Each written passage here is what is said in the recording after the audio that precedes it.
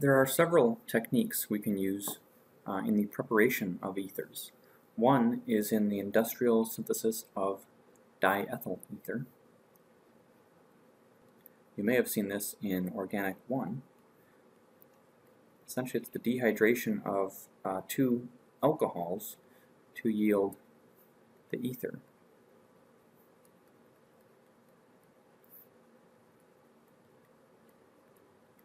And it's believed to proceed via an SN2 mechanism because we are dealing with primary substrates. You should be able to draw a three-step SN2 mechanism uh, that shows the production of this diethyl ether here. Some problems with this are that it only creates symmetrical ethers. And to an organic chemist, those are useful, but they're not as exciting as unsymmetrical ethers. So we might be more interested in creating um, an unsymmetrical ether. So a British chemist by the name of Williamson uh, invented the Williamson ether synthesis, or actually he invented an ether synthesis and later scientists decided, decided to name it after him. So the premise is such that we take an alcohol that has one of our desired R groups on it, because this could be abbreviated here ROR, right? And of course, an unsymmetrical ether might be ROR prime, which we cannot make using this uh, industrial prep here. So let's say we want ROR prime. We would choose the appropriate alcohol, and we add NaH, sodium hydride, which is a strong base. It will produce H2 upon reaction with alcohols and leave us with the RO minus, which is a good nucleophile. And the second step then could be the R prime connected to a good leaving group. And so we can do essentially an SN2 type mechanism uh, for the second step and end up with ROR prime. So let's look a little more closely at how this might work. So let's say I want to make this ether here. Isopropyl propyl ether. And so what I'm going to do is I'm going to react and I'm going to show the OH bond so we can have a a better idea of how the mechanism proceeds. But you should be able to draw this uh, proton transfer mechanism pretty easily.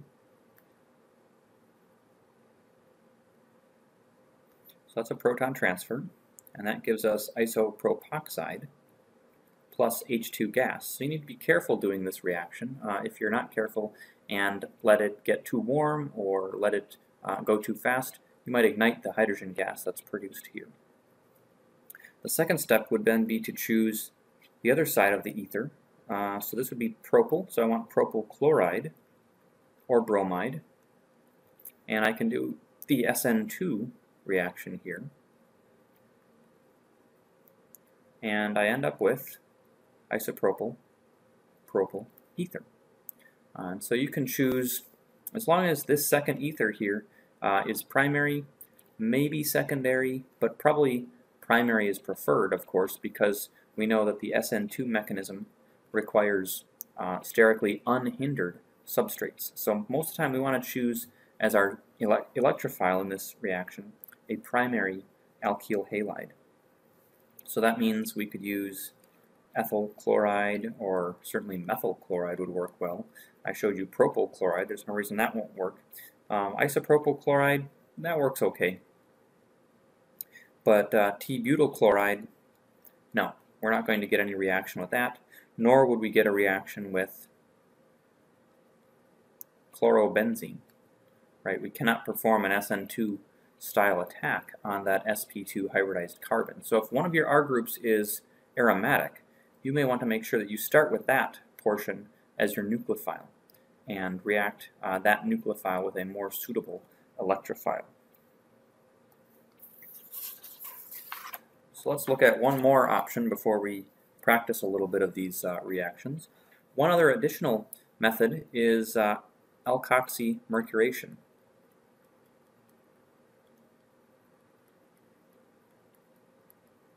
I believe there's an E here.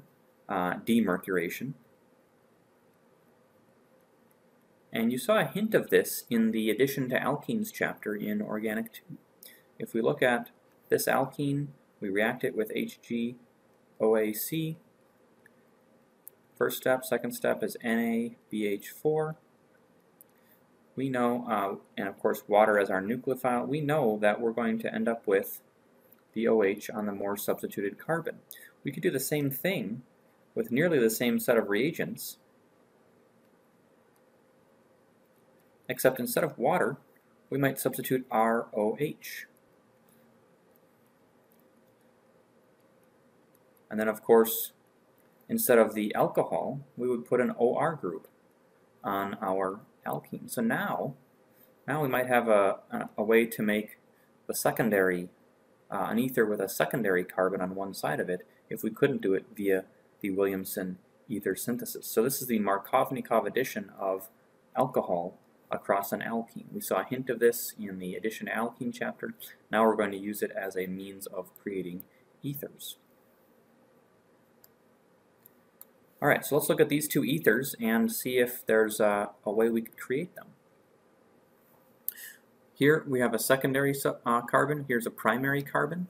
So perhaps if we made this bond in our Williamson ether synthesis, uh, that would be a good choice. And so if we had, uh, let's see here. First I'd want to take this alcohol and remove the hydrogen.